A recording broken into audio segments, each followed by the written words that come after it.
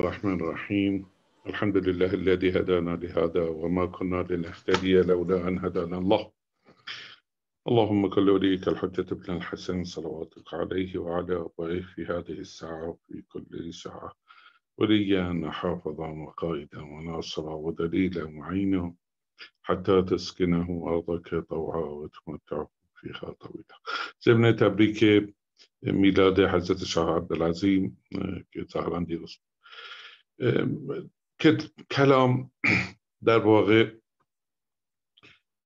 بیان استدلالی عقایدی یعنی علم کلام بیشتر درباره روش استدلال و استفاده کردن از عقل در فهم مبانی دینی که حالا میشه گفت ایمان هم هستش. ولی اونچه که ما وقتی بهش میگیم علم کلام منظور قسمت استدلالش نیست. یعنی یک علم خاصی است با یک رنگ خاصی با یک قوانین خاصی که درست شد که بتونه کمک کنه به تدریس یا واضح کردن آنچه که افراد متدینین در واقع بهش معتقدن و الا قرآن فراوون از قبل داشت از روزی که به صلاح قرآن آمد. توش پر از استدلال. بنابراین نمیگیم که یعنی قرآن علم کلام رو ایجاد کرد. علم کلام چیزیست که دانشمندان یا افراد مسلمان برای خودشون بعدها درست کردن که اون رو می‌خوام خود بیشتر توضیح و الا خیلی در قرآن استدلال زیاده. از جملش درباره حضرت عیسی علیه السلام مثلا. ای 59 سوره آل عمران خیلی راحت استدلال خیلی ساده بود. چیز داره که اگر شما میگید که حضرت مسیح پسر خداست. چرا؟ چون پدر نداشته. و غیر عادی بوده پس پدرش خداست. خب قرآن میگه پس حضرت آدم چی؟ اون که هم پدرش نداشت هم مادر نداشت. فرمون داریم انواعش برای بخصوص توحید برای آخرت و روز قیامت و موارد مختلفی که درباره فهم و برنامه های دینی ما می‌بینیم. قرآن استفاده از استدلال می‌کنه. ولی ما مقصود اون از علم کلام این نیستم که ارز کردم. علم کلام چیزی است که یه سری دانش حالا می‌تونیم بگیم دانشمند درست کردن یا مفکر درست کردن. به طور کلیش این علم در واقع اوایل قرن دوم هجری یعنی حدود 130 140 اینطوری ها در واقع باید بگیم این تولید شد و با وسیله آمدن گروهی به اسم معتزله.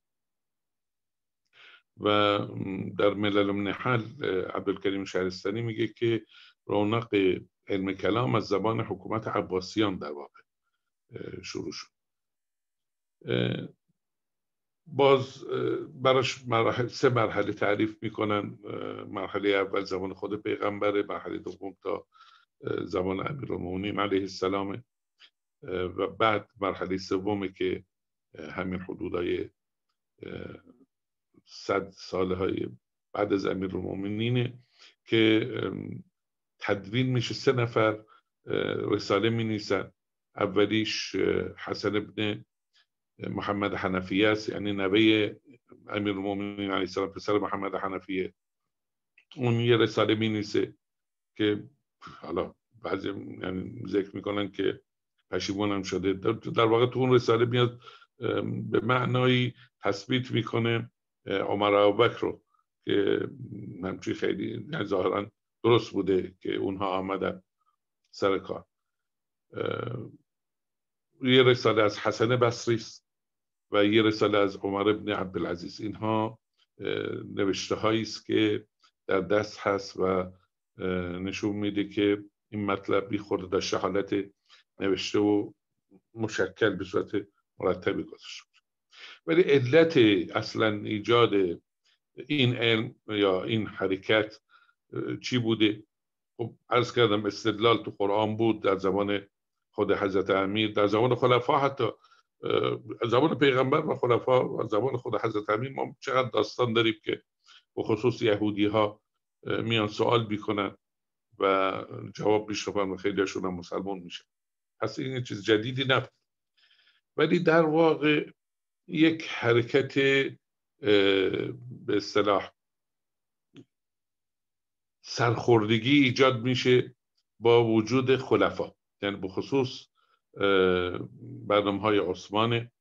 بعد جنگ هایی است که در زمان حضرت امیر ایجاد میشه. خیلی ایجاد سوال می‌کنه که چرا اینطوری شد؟ حالا کی داره میجنگه؟ کی بر حقه کی کی درسته؟ و بعدش هم همینطور که خوارج در واقع اولین گروهی هستن که شروع کردن به تئوری سازی و اینکه هر که مرتکب کبیره میشه مشرکه و باید کشتش. در واقع همین داعشی هایی که فعلی ما میگیم اینها اولین گروه هایی که به صورت فکری تولید شدن سرخوردگی هایی که پیدا کردن در جامعه. برعکسش مرجعه بودن که اینها گفتن که نه اگر کسی ایمان داشته باشه هر گناهی می‌خواد بکنه آدم من بکشه. هرچی بالاخره یه بلایی سرش میاد مهم ایمانش. یا اگر کافر بود هر چقدر کار خوب کنه فایده نداره. این کافر. تقریبا تقریبا چیز شبیه مسیحیت. این اینجاست که می‌بینیم کسایی گل می‌کنن. یکی از کسانی که گل می‌کنن و در واقع خیلی موثرن در ایجاد علم کلام در واقع شروعش برای آقای اسپیس حسن بصری. حسن بصری کسی است که در تقریبا وقت دو سال از خلافت عمر هنوز مونده بود اون وقتا به دنیا میاد. مادرش پدرش در واقع یه خورده اول به صورت اسیری آورده شده بود مدینه و مادرش بیشتر در خدمت ام سلمه رفت آمد می‌کرد. و در یکی از مصادر سنی دیدم عجیبه که شیعه ها اینو ذکر نمی کنن حسن بصری در دامان حضرت امیر بزرگ میشه در واقع. یعنی در خانه ای که حضرت امیر بوده. بیشتر ما می‌دونیم ام سلمه با حضرت امیر روابط یعنی خوبی داشت. حضرت زهرا سلام الله علیها ام سلمه همیشه با ایشون نزدیک بود. اول خب همینطور بود باز هم ارتباط رو داشتن. بنابراین جوانیش رو در اون در تقریبا در نزدیکی حضرت امیر میگذرونه. یک نحوی متأثر از عملکرد ایشون و بعدها جملات قصاری که به کار می‌بره عملکردهایی که داره خیلی از معلومه که متأثر از حضرت امیر. و تا آخر عمرش هم تا تونست اقلا ایشون رو سعی می‌کرد احترامشو داشته باشه و حضرت علی رو قبول داشت. ولی خب عمر و بکر هم دوست داشت. در واقع خیلی حال اینکه بیاد خط رو انتخاب کنه خطی باشه و یکی رو انتخاب کنه نبود. آدمی است که به هر دو طرف بزنه. در حدود 16 سالگی در میره به جنگ خود شجاع هم بوده البته کاتب بوده نویسنده بوده ولی خب بالاخره بوده. بعد حدود بعد یعنی در واقع زبان امام حسین امامت امام حسین علیه السلام بعد میگرده به بصره و شروع می‌کنه به به جلسات تینک تنک به اصطلاح فکری دور هم گپ زدن. و یه سری جلسات توی خودش داشته که اونها خصوصی بیشتر برای عرفان تدریس می‌کرد. یعنی صحبت می‌کرد مسائل عرفانی رو بیشتر بحث اهل بحث و اهل گفتن بود.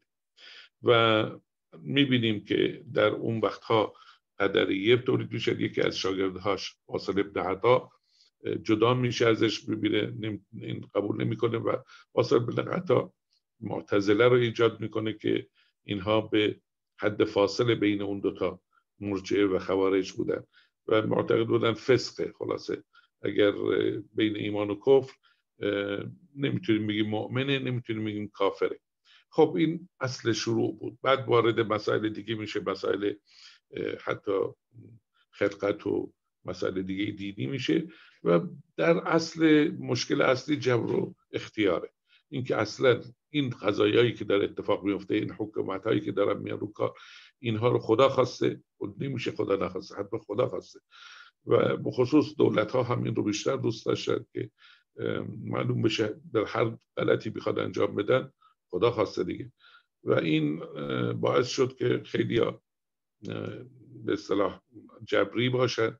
ولی واصل ابن عطا می‌بینیم شروع می‌کنه به اعتراض کردن که نه ما انسان ها حق داریم می‌تونیم خودمون تصمیم بگیریم و قدری نیستیم. بنابراین قدریون به طور کلی که کسایی که معتقدن که خدا یعنی قدر در واقع وجود نداره. جالب اسمشون قدریه ولی در واقع می‌خوام بگم قدر وجود نداره. قدر خدا قضا و قدر خدا نیست که باعث بشه ما هر کاری بکنیم. ما خودمون انتخاب می‌کنیم. اینها معتزله میشن و بعد جبریون کسانی که معتقدن که هرچی خدا خواست همون میشه و ما در واقع هیچ عروسکیم اینها اشاعره میشه. همین باعث میشه که یک سری پس برنامه های به وجود بیاد که تعریف کنن و مبنا و تئوری بریزن برای برنامه های دینی که ما چرا به چی معتقدیم و همطور که دکتر شهنه فرمودن دیدگاه رو ایجاد کردن و دیدگاه ها رو چطور بذاریم که بفهمیم تفسیر کنیم خلاصه داستان. این باعث میشه که علم کلام کم کم به وجود بیاد. اولین کسی که به عنوان کتاب نوشته در علم کتاب در علم کلام علی ابن اسماعیل ابن شعیب ابن میسم تمار. میسم تمار خب شهید میشه ولی جالب سه تا از فرزندانش پسراش اینها از یاران امام زین العابدین و حتی امام باقر علیه السلام و یکیشون حتی به زبان امام صادق علیه السلام هم می‌رسه بعد شعیب پسر بزرگ است پسرش اسماعیل اون هم باز از شاگردان ائمه است.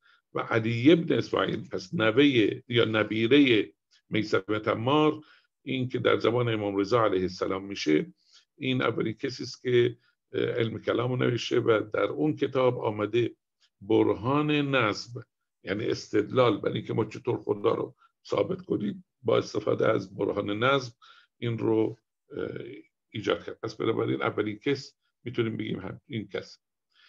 بعد داستان گروه دیگری پیداشون میشه نوبختی ها هستن.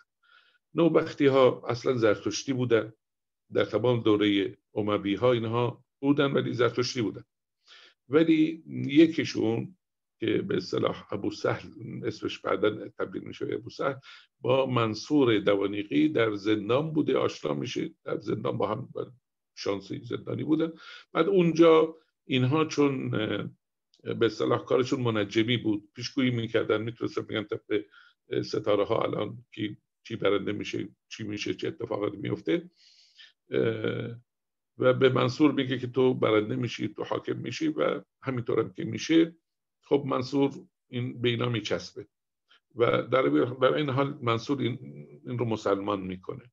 یعنی پدر اسمش نوبخت بوده. ولی اینها بعدی ها دیگه میشن خانواده نوبختی. پس بنابراین مسلمان شدنشون از زمان منصوره. ولی کی شیعه میشن نمی‌دونیم ولی احتمال زیاد خیلی سریع. یعنی خود به اصطلاح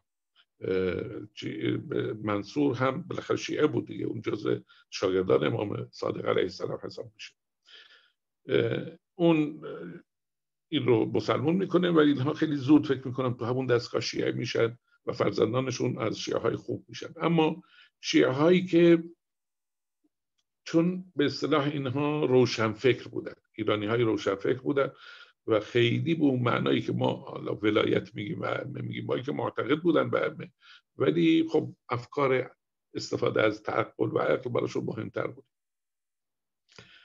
لذاست که مثلا اصول دین رو احتمال زیاد اینها ایجاد می‌کنه.